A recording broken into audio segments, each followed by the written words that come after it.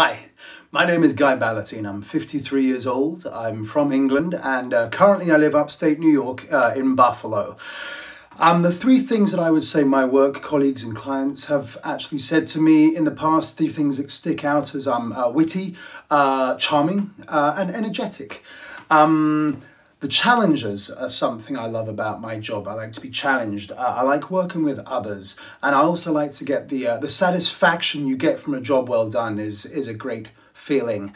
Um, I've always been in the food and hospitality industry for as long as I can remember. Um, so this is a reason why I'd like to be on the Food Network show. Also, my son introduced me to the Food Network some time ago, and I've been hooked ever since. Thank you.